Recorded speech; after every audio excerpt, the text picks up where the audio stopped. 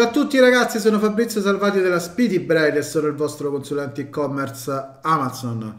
Ragazzi, seguitemi fino in fondo, questa è la seconda parte importantissima di come si vende su Amazon nel 2024. Abbiamo parlato nella prima parte di registrazione del brand, ora parleremo di prodotto. Perché parliamo di prodotto? Perché è veramente fondamentale, è una parte imprescindibile, eh, cioè al di là dei tecnicismi di vendita da implementare su Amazon, ovvero l'ottimizzazione SEO, eh, il lancio, le super URL, l'implementazione delle pay per click, è importantissimo sviluppare un prodotto che sia vincente. Ragazzi, io penso che questo sia almeno il 70% del business. Non sbagliate il prodotto, ok?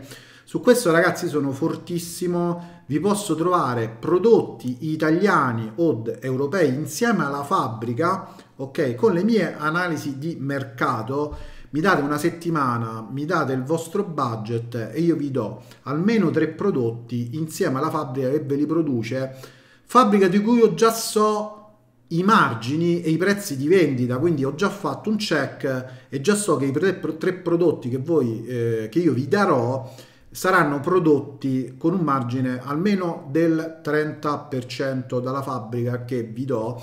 E ragazzi soprattutto sono prodotti italiani e europei quindi ci andiamo a differenziare rispetto ai cinesi. Non andiamo in nicchie affollate da cinesi dove veramente ci fanno neri sul prezzo perché poi se lottiamo solo sul prezzo al nostro prodotto uguale agli altri è ovvio che diventano commodities lotta sul prezzo il cinese ci massacra perché è lui il cinese che produce quindi lui si può permettere di abbassare il prezzo e farci andare fuori mercato. Quindi contattatemi qui ragazzi, Whatsapp, mi scrivete, rimarrete meravigliati di eh, quanto costa relativamente poco questa analisi di mercato dove vi do prodotti e fabbrica. Quindi importantissimo. Che caratteristiche deve avere il prodotto vincente eh, su Amazon? Allora, uh, innanzitutto io utilizzo uh, una mh, cosiddetta mh, tabella di Key Performance Indicator che vi vado a far vedere qui ragazzi. Eccola qua. Quando vado ad analizzare eh, una nicchia, io vado ad analizzare il fatturato della nicchia e vado ad analizzare le recensioni medie, vado a analizzare quanti seller ci sono all'interno della nicchia e eh, metto come peso, vedete questo è il peso che metto, 1, 1, 3 eccetera eccetera, quindi se io qui metto tutto a zero no? e andiamo a fare questo tipo uh, di analisi, vi faccio un esempio al volo, ok? E se io vado su uh, Amazon, allora lasciate perdere qui, ecco andiamo qui ragazzi, e vado a, a cercarmi una nicchia, ok?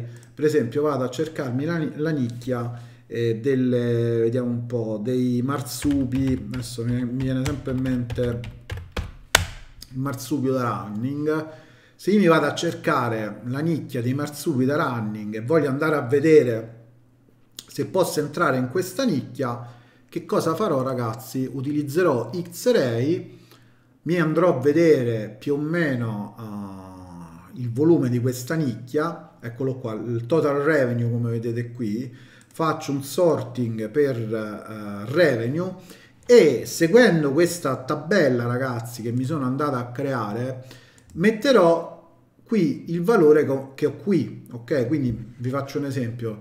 La nicchia è maggiore di 50.000 eh, questa nicchia è 48.006 diciamo facciamo finta di sì e mettiamo 1 facciamo finta che è 51.000 recensioni medie sono inferiori a 2000 vado a vedere sono 980 sì. Quindi qui metterò 1 ok?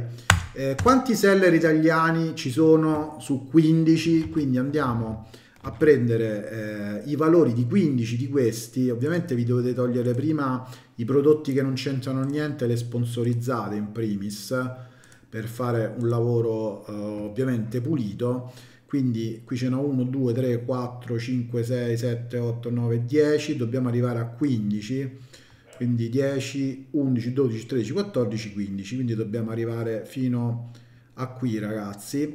Che cosa andiamo a vedere? Eh, quanti venditori italiani ci sono nei primi 15? E qui ragazzi già vedo che 0, quindi non ci sono seller italiani, quindi 0. Quanti seller europei su 15? Andiamo a vedere, i seller europei ce n'è uno austriaco, eh, dopodiché ce n'è uno francese, uno inglese, quindi 3, eh, 4, ce ne sono 4 su 15, quindi anche qui il valore è 0. Quanti Amazon ci sono? È minore di 5 su 15, eh, ce n'è uno di Amazon, sì, è minore di 1 su 15, quindi qui in questo caso metterò 2. Il margine del prodotto a regime è maggiore del 25%. Allora ragazzi, ovviamente qui dovrete aver già richiesto dei preventivi per rispondere a questa domanda. Facciamo finta che abbiamo un margine superiore al 25%, mettiamo 2. Il prezzo medio di vendita è tra i 15 e i 40 prezzo medio lo vedete qua ragazzi, average price, non è tra i 15 e i 40, quindi qui lascerò 0. Almeno 15 venditori devono fatturare più di 1000 euro al mese. Andiamo a vedere quanto fatturano questi eh, venditori, quindi come vedete in realtà anche questo non è vero perché ci sono tanti venditori che fatturano eh, sotto i 1000 euro, quindi questo qua è un indice di bassa eh, presenza di, mh, di, valore a livello uh, di vendite, quindi anche qui zero. La keyword principale ha più di 3000 ricerche mensili, ovviamente ragazzi qui bisognava prima andare a vedere qual è la keyword principale, eh. però facciamo di fin finta che è questa, il valore è 108, quindi non ha più di 3 ricerche, 3000 ricerche mensili, quindi è zero. La distribuzione del fatturato è uniforme tra i 15 seller? Sì, vedete? È una distribuzione uniforme, eh, non è concentrata solo su alcuni, quindi in questo caso metto 1. Poi qui ovviamente sono delle cose afferenti il prodotto, se lo possiamo differenziare significativamente, diciamo mettiamo 2, eh, sì, puoi vendere con un margine maggiore del 25% eh, ad un euro sopra o un euro sotto il prezzo medio, cioè riesco tramite l'offerta che mi ha fatto la fabbrica a stare nel prezzo medio che sarebbe questi 11 abbiamo visto.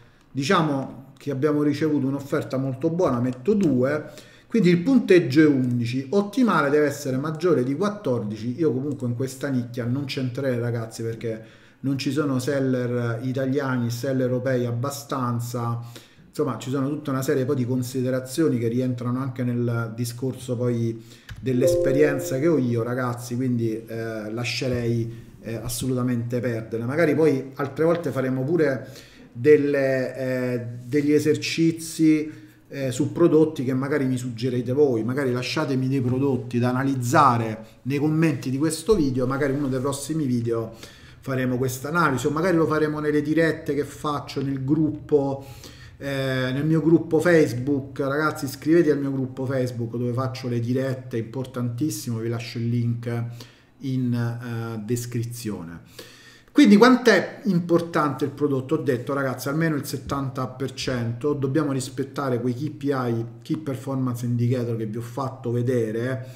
Perché io suggerisco prodotti italiani e europei? Perché ho notato che molto spesso i prodotti italiani e europei sono inseriti in nicchie che rispettano quei key performance indicator. Quindi utilizzate ragazzi le mie analisi, avrete successo. Ricordatevi che eh, se non volete buttare i soldi eh, sbagliando prodotti, l'analisi costa molto meno dei soldi che butterete se, se mh, sballate il prodotto. Se il prodotto non va, avrete bruciato 3, 4, 5 mila euro. Quando un'analisi di mercato dove vi do tre prodotti su tre prodotti ragazzi due sono sicuramente quelli che vanno bene.